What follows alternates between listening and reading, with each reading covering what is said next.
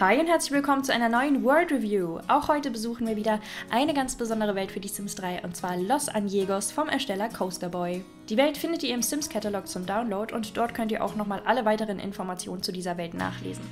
Ihr benötigt für Los Anjegos keine Stuff Packs, allerdings wurden einige Erweiterungspacks verwendet und welche das genau sind, schreibe ich euch auch nochmal in die Infobox, wo ihr natürlich wie immer auch den Link zum Download findet. Außerdem hat der Ersteller angegeben, dass er in dieser Welt auch Objekte aus der Store-Welt Lucky Palms verwendet hat. Sagt übrigens gerne Bescheid, wenn ihr mal Videos von mir zu den diversen Welten aus dem Sims 3 Store sehen würdet. Da hätte ich nämlich mega Lust drauf, weil ich die selber noch nicht alle ausprobiert habe. Auf der Seite steht außerdem, dass er ein CC-Riesenrad verwendet hat, äh, das allerdings optional ist und auch nicht im Download enthalten. Ich wollte mir das runterladen und habe dann festgestellt, dass der Download-Link leider nicht mehr funktioniert. Ähm, und dann habe ich allerdings ein bisschen gegoogelt und konnte das Riesenrad bzw. das Set, zu dem es gehört, auf der Seite Sims 3 Planet finden. Ähm, also falls ihr euch das runterladen wollt, setze ich euch den Link dazu ebenfalls in die Beschreibung. Zu guter Letzt noch ein Fakt, der diese Welt für viele von euch besonders interessant machen dürfte. Los Anjegos ist bereits besiedelt, das heißt, ihr müsst nicht erst mühevoll eigene Haushalte platzieren, sondern ihr könnt direkt mit eurer Familie starten und müsst euch keine Sorgen machen, dass ihr keine Nachbarn habt. So, das waren jetzt erstmal ein paar Eckdaten rund um Los Anjegos und ich würde sagen, wie üblich starten wir erstmal mit einem kleinen Überblick über diese Welt. Ich hatte die schon mal installiert vor Jahren, aber leider lief sie auf meinem Laptop nicht besonders gut, weil sie einfach wirklich sehr, sehr groß ist und sehr voll. Und deswegen ist sie dann so ein bisschen in Vergessenheit geraten. Aber ich freue mich total, die heute nochmal so ein bisschen zu erforschen und mich umzuschauen. Und ähm, was ich hier jetzt schon sehe, ist schon sehr, sehr cool. Also wir haben hier quasi einen Großstadtkern. Bin ich schon gespannt, ob es hier auch ähm, einige Apartments gibt, aber ich nehme an, dass hier dieser ganze Komplex voller Apartments sein wird. Ähm, dann haben wir hier auch einen Strand mit einer Promenade. Das sieht sehr cool aus. Ich frage mich, ob hier dann dieses äh, Riesenrad steht. Ich sehe da jetzt gerade noch nichts. Ich hoffe, das hat alles funktioniert. Installiert müsste es auf jeden Fall sein. Okay, so, dann haben wir hier noch so einen Hafen, so eine Hafenanlage. Und hier kommen wir dann in die Wohnbereiche. Oh, und da ist sogar so eine coole Schrift, so wie äh, die Hollywood-Schrift. das ist ja cool. Und was ist das für ein Gebäude hier oben? Das muss ich mir später genauer anschauen. Okay, dann haben wir hier haben wir ein paar äh, große Häuser, sag ich mal. also ich glaube, das wäre auch so eine perfekte Welt, wenn ihr irgendwie so ein, weiß ich nicht, so ein 5-Sterne-Star-Schauspieler haben wollt oder so. Okay, hier sind ein paar kleinere Häuser. Was ist das hier? Ist das das Sportstadion? Ist das, weiß ich nicht, ist das ein Baseballfeld oder so? Ich habe keine Ahnung, wie sowas aussieht, wenn ich ganz ehrlich bin. Aber ich glaube, könnte Baseball sein, oder? Kenne mich leider überhaupt nicht aus. Okay, hier. Oh, hier geht's so. Oh mein Gott, da geht's ja noch weiter. Also, die Seite haben wir jetzt erstmal abgehakt, glaube ich. Dann haben wir hier so eine kleine Trailersiedlung. Das ist ja mega, oder? Ist das eine Trailersiedlung? Oder sind das einfach, weiß ich nicht. Müssen wir uns später auf jeden Fall auch mal anschauen, diese kleinen Hütten hier. Okay, dann... Ah, hier kommen wir wieder zurück in die Stadt. Alles klar. Ich habe noch nicht so ganz den Überblick hier.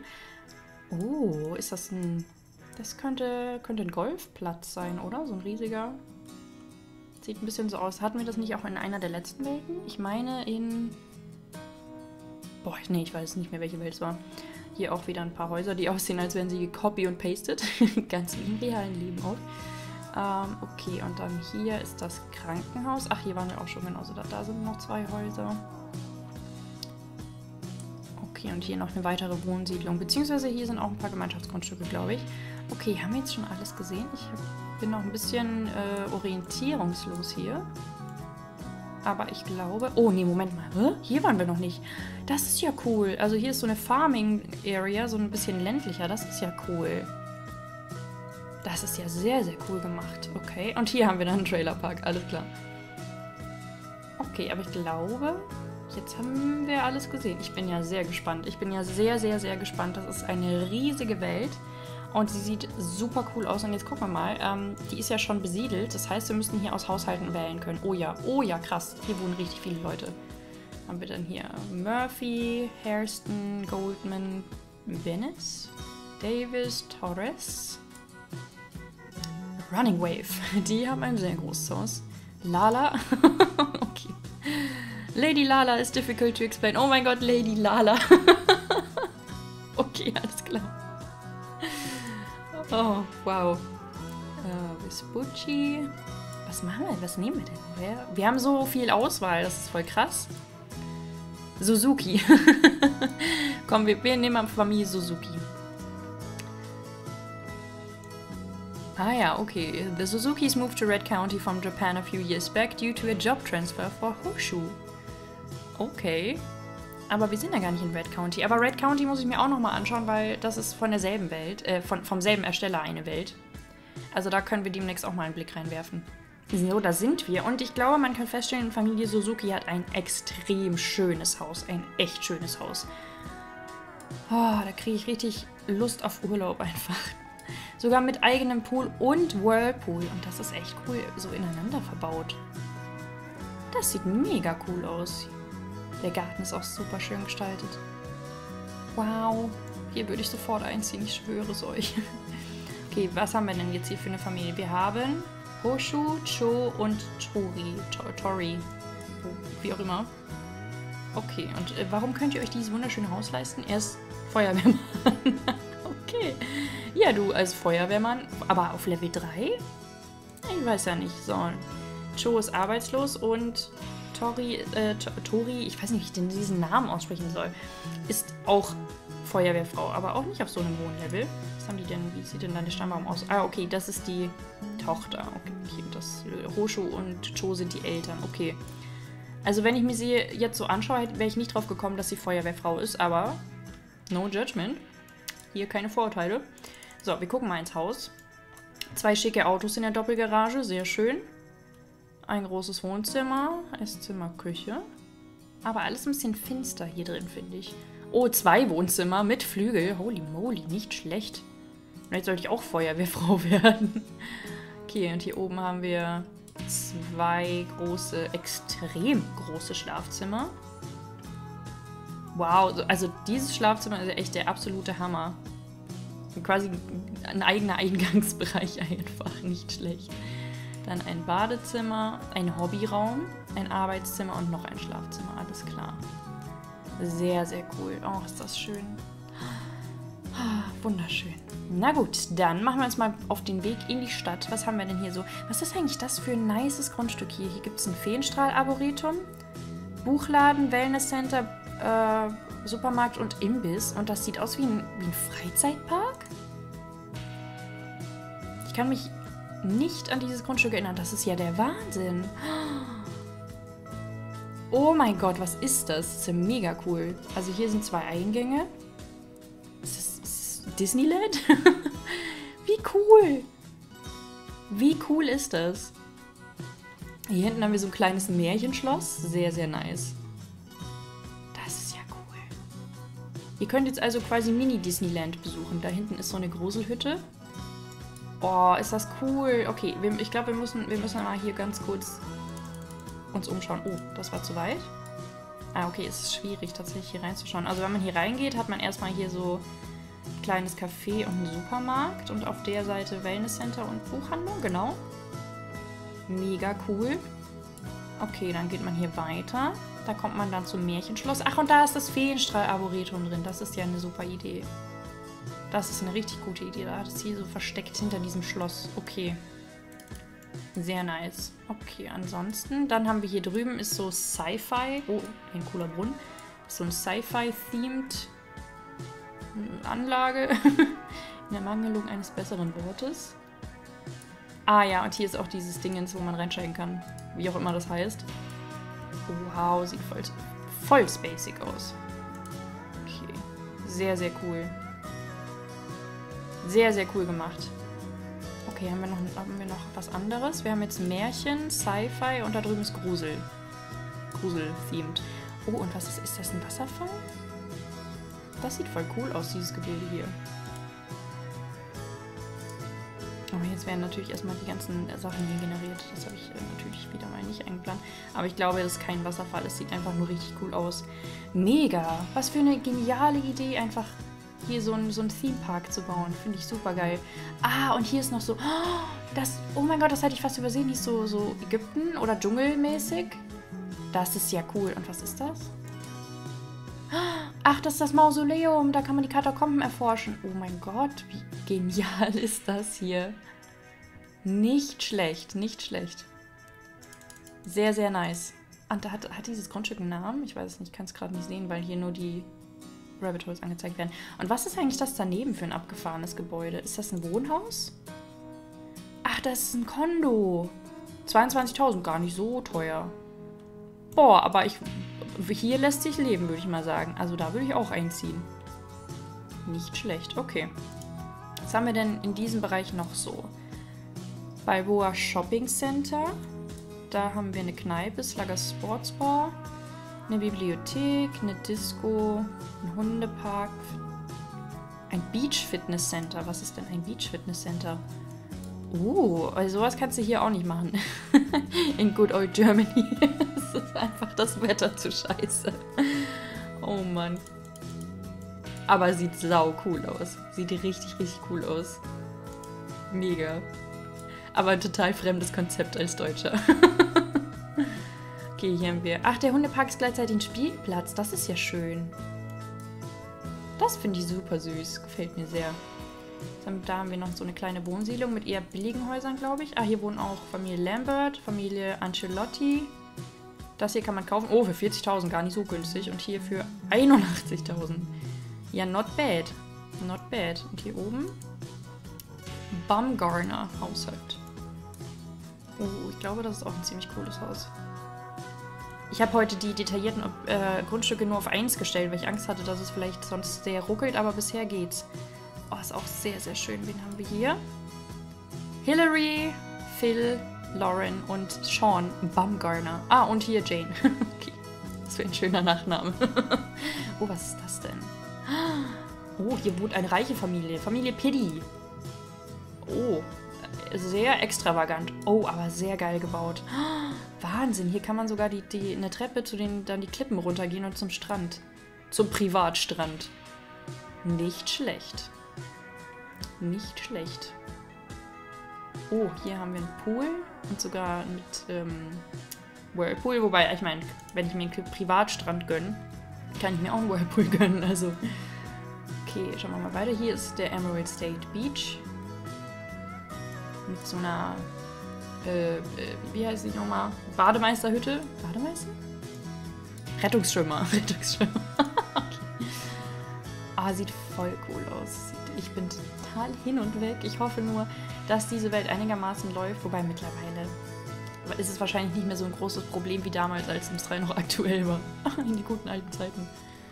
Was haben wir hier? Was ist denn das? Newport Marina. Ah ja, okay, das ist so ein Hafen-Dingens. Sehr, sehr cool.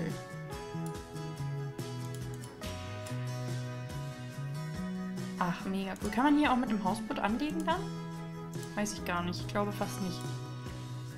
So, dann bewegen wir uns ein bisschen weiter stadteinwärts. Und was ich auf jeden Fall sehen möchte, ist natürlich hier dieses Pier. Das, oh, es ist ein Festgelände, okay.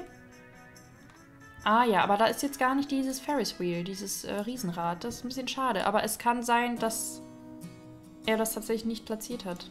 Dass er das nur bei sich platziert hat. Ich weiß es nicht genau. Aber das hätte ich eigentlich schon gern gesehen. Aber es ist trotzdem sehr, sehr cool gebaut. Vor allem hier mit diesen Elementen aus Showtime. Das ist ja eine geniale Idee. Da wäre ich einfach nicht drauf gekommen. Muss ich mir vielleicht ein bisschen was abschauen. Aber ist sehr cool. Sehr, sehr cool. Hier sind auch zwei von diesen Toilettenkabinen. Das ist schon mal gut. Ach, und hier kann man so ein Bullenreiten machen. Mir war gar nicht bewusst, dass das ein Spiel ist, wenn ich ganz ehrlich bin. Kann das auch mit Showtime? Ich glaube schon. Sehr, sehr, sehr cool. Ach, es kann sein, dass hier dieses Ferris Wheel stehen sollte, wo jetzt das Trampolin ist. Wisst ihr was? Ich gucke mal ganz kurz in, in Kaufmodus, ob ich das finde und dann platziere ich das und wir können uns das anschauen. Nach langem Suchen habe ich das äh, Riesenrad jetzt endlich gefunden. Ich bin mir nicht ganz sicher, ob das so richtig platziert ist, aber anders hat es nicht hingepasst. Und es ist leider auch nur Deko, also wenn ihr mich fragt, könnt ihr darauf verzichten, euch das runterzuladen. Ähm, aber falls ihr es runterladet und sucht, es befindet sich äh, bei der Beleuchtung, ich glaube bei den Außenbeleuchtungen. Ähm, ja, es ist halt wirklich leider nur Deko, deswegen weiß ich jetzt nicht weiß ich jetzt nicht, es, es, leuchtet wahrscheinlich schön in der Nacht, aber ich glaube, das braucht man jetzt nicht unbedingt. Außerdem, ich glaube, ich habe auf Mod des Sims vor einiger Zeit mal ein äh, tatsächlich nutzbares Riesenrad gesehen, also würde ich euch eher dann empfehlen, das runterzuladen. Ähm, aber es ist natürlich, es sieht natürlich hübsch aus, also für die Ästhetik ist es ein ganz nice eigentlich. So, dann wandern wir, wir mal weiter. Was haben wir denn hier noch so? Da ist noch ein Wellness Center und Buchhandlung. Also hier Buch, Bücher und Wellness Center findet ihr hier zu Genüge. Da haben wir einen Friedhof. Oh, das ist der hübscheste, einladendste Friedhof, den ich je gesehen habe, glaube ich. Der ist wirklich sehr, sehr hübsch. Überrest. Aber hier sind leider nur Überreste. Keine versteckten äh, Sims. so wie in Midnight Hollow. Oh mein Gott, Midnight Hollow. okay, ähm, wo gehen wir denn jetzt weiter? Da haben wir... Ach, das Gebäude hier oben, wo ich mich vorher gefragt habe, was das ist, ist ein Museum. Eine Kunstgalerie. Oh, sieht sehr, sehr fancy aus. Sieht sehr, sehr fancy aus. Schauen wir doch mal rein. Oh, schick. Nicht schlecht. Nicht schlecht. Und man hat natürlich einen wahnsinnig schönen Ausblick, vermute ich mal, wenn man hier auf dieser Terrasse draußen steht. Dann kann man einfach hier über die Stadt und das Meer blicken. Das ist schon sehr nice. Das ist schon sehr, sehr nice. Gut, was gucken wir jetzt denn noch an? Hier haben wir noch ein Fitnesscenter. Das Silvers, Silvers Gym, okay. Ah, sieht cool aus. Sieht von außen schon cool aus. Schauen wir mal rein. Oh, da habt ihr auf jeden Fall viel Platz.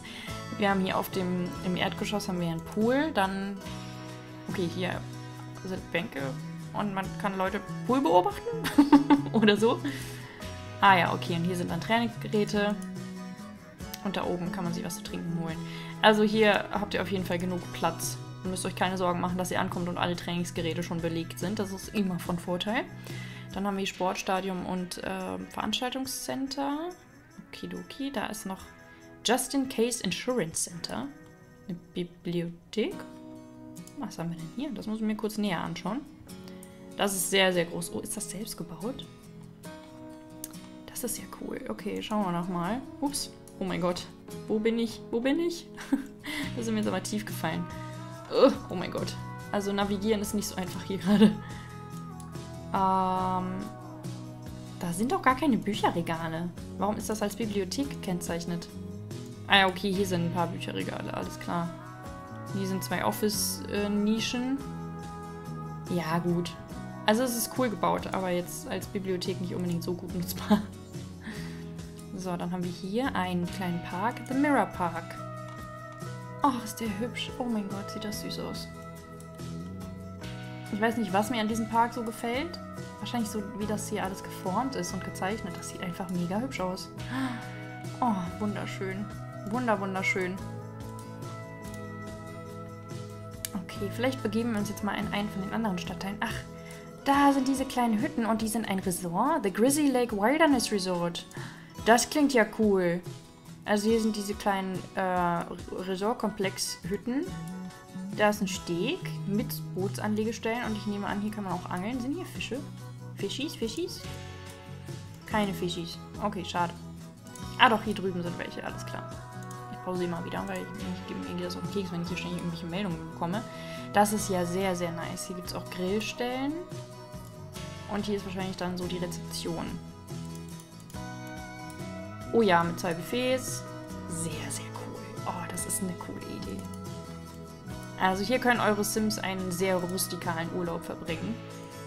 Das hier oben. Grizzly Peak. Da steht nur so ein Trailer rum. okay. Oh, sehr cool. Ach, hier kann man quasi campen.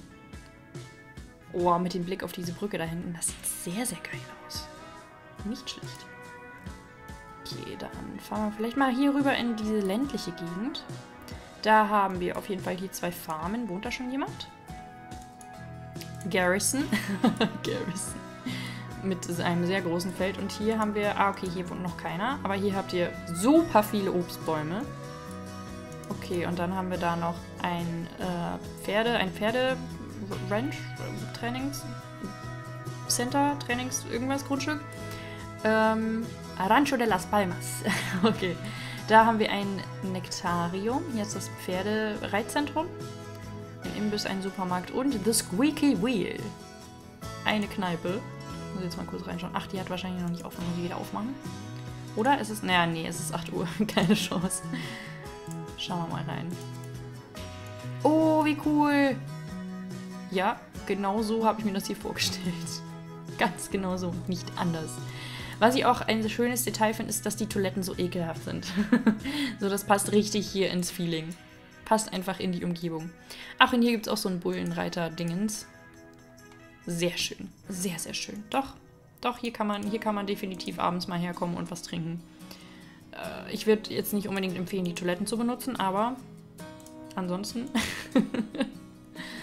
Okay, also das war diese ländliche Gegend. Hier haben wir noch einen Trailerpark. Ach, und hier wohnt der Haushalt Brown. Ach, Moment, nee, Moment. Das sind lauter Einzelne. Ah, wie geil. Okay. Also hier haben wir Doc Brown. Der sieht aus, als wäre er ein bisschen durchgeknallt. Ich habe Angst vor dem.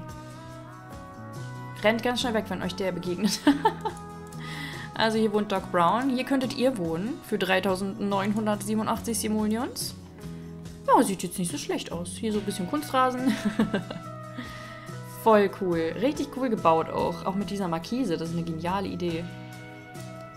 Okay, und da drüben haben wir dann, hier kann man noch einziehen und hier wohnt der Haushalt Harris. Auch sehr schön. Wo ist denn? Ich habe hier doch gerade einen Sim gesehen. Der steht da drin rum mit seinem Cowboy-Hut. Ralph Harris. Oh, er sieht aus, als hätte er irgendwie gerade nicht so einen guten Tag. und ist sehr haarig. Holy moly. Sehr haarige Arme. Ähm, sollen wir noch einen Blick ins Notarium werfen oder sollen wir weiterziehen? Ich glaube, ich gucke mich noch ein bisschen weiter um. Wo waren wir denn jetzt noch nicht? Oh, das ist... Oh mein Gott, das ist auch ein Resort. Desert Springs Country Club. Dann ist das hier garantiert ein Golfplatz, oder? Ja, das ist doch eindeutig. Hier sind auch so Fähnchen. Sehr, sehr nice. Dann gucken wir uns hier mal Desert Springs Country Club an. Oh, sehr geil. Mm, sieht das cool aus. Mit Tennisplatz. Schaut euch das mal an. Das ist ja cool. Sehr, sehr, sehr cool. Richtig schöne Poolanlage mit Whirlpool. Und hier ist sogar so ein, so ein Brunnendings. Moment, so ein Wasserfall. Ha, ist das cool. Cool, cool, cool. Ich bin hin und weg. Okay, dann gucken wir uns doch mal hier das Raisongebäude selbst an. Wir haben den Eingangsbereich. Der ist auch schon sehr cool gestaltet mit lauter Brunnen und Deko und so. Das ist sehr geil. Oh mein Gott. Da ist der Fitnessbereich mit Umkleide. Mhm. Das hier weiß ich jetzt nicht genau. Vielleicht so ein Yoga. Ich habe keine Ahnung, was man in diesem Raum macht, aber irgendwie sieht er entspannend aus.